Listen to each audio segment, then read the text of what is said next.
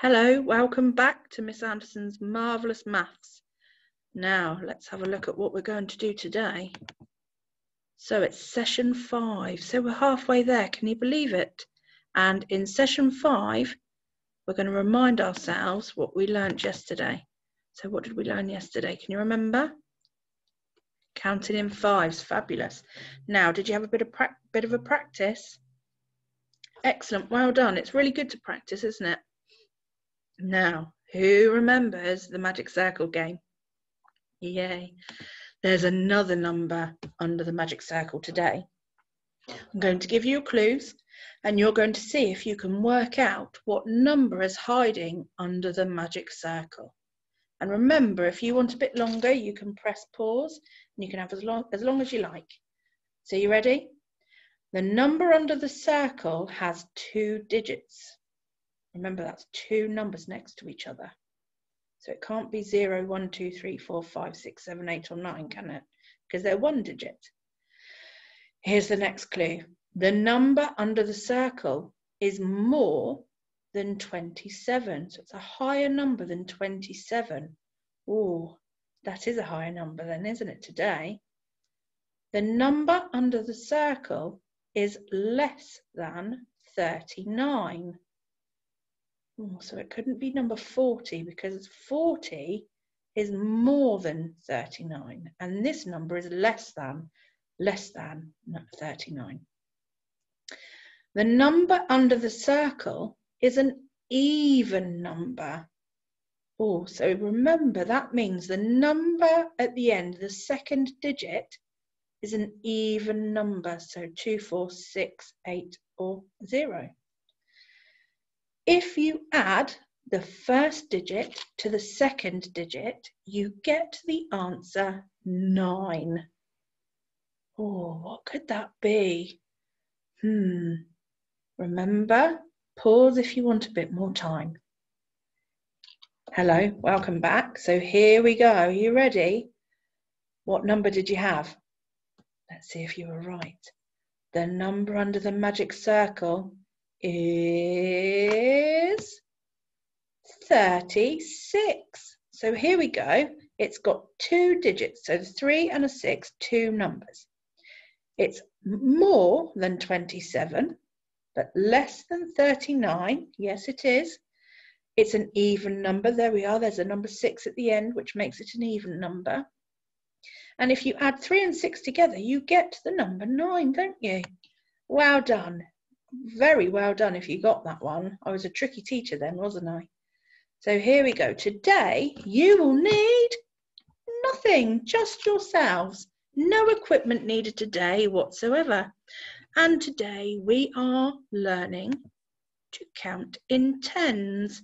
Now this looks quite familiar, doesn't it? Yesterday we were counting in fives and all of this row was shaded yellow and this one. Today just this row is shaded, this column. Hmm. So why do you think those numbers are purple? That's right, on this 100 square we are counting in tens. So 10, 20, 30, 40, 50, 60, 70, 80, 90, 100. What do you notice about all of those numbers? Hmm. Now I notice that the first digit on each number is getting higher each time. Do you see? 1, 2, 3, 4, 5, 6, 7, 8, 9, 10. And the last digit on all of these numbers is 0. That's because they are tens numbers. Now, now we know that, let's move on to a bit of counting in tens. Now, counting in tens is even quicker than counting in ones, twos, or fives. Let's see if you can count the fish. But remember, you cannot count one, two, three, four, five, six. Oh, no, no, no. You need to count in tens. So 10, 20, 30, 40, 50, 60, 70, 80, 90, 100. So let's do this together. You ready? 10, 20, 30, 40, 50, 60. How many fish? 60. Hooray! Is that the number you got? Now, with counting in tens, I really want you to try and count in tens. But if you need to count all of them and then write the number underneath and then add 10 more each time until you're really used to it, that's fine as well. Anything that helps you practice is good. Now, here are some beautiful balloons. I'm going to give you a task to count these balloons in tens all by yourself. Give it a try. Might feel a bit hard, but have a go. The more you practice, the better you will get at this. Then remember, counting in tens is every tenth number. So 10, 20, 30, 40, 50, 60, 70, 80, 90, 100. Pause the screen and give yourself a bit of time to count them. Well done, over to you. So, hello, welcome back.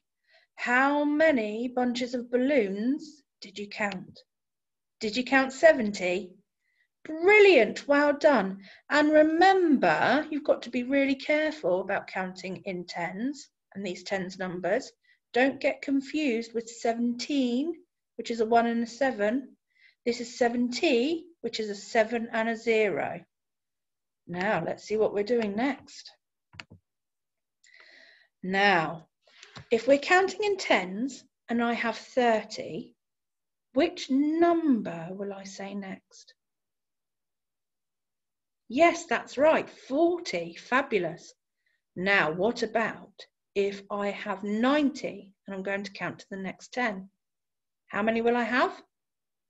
Yes, 100. Brilliant. What about if I've got 10 and we're counting to the next 10? 20. Good work. What about 50? Yes, that's right. 60. Well done. I'm really proud of you. Now, who can chant with me? Do you know what chanting means? It means saying something over and over again. And if you do that, you'll find that it sticks in your brain. And next time you go to count in tens, it will be a bit easier.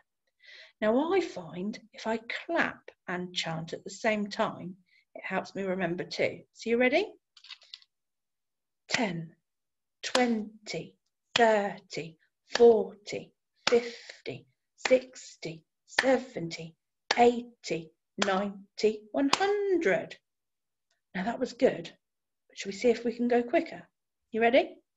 10, 20, 30, 40, 50, 60, 70, 80, 90, 100. Right, I'm going to ask you to pause this screen and I want you to continue chanting those numbers until you can remember them. So are you ready?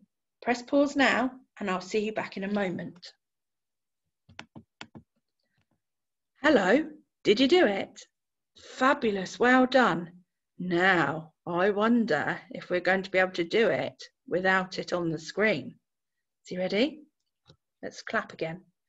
10, 20, 30, 40, 50, 60, 70, 80, 90, 100. Over to you. You ready? Press pause. Have a go by yourself. Did you do it? Well done. And remember, it's not just about chanting. Make sure you are counting every 10 as well, because that will all help you. And remember to be a super counter, because in counting in tens, if you count too many or too few, you're going to get the wrong answer. Okay? Now, that's the end of our session today. In the next session, we're going to be learning all about one more. But until then, see what you can count in tens. See if you've got groups of anything, any groups of 10 around you where you are right now. Goodbye. See you next time.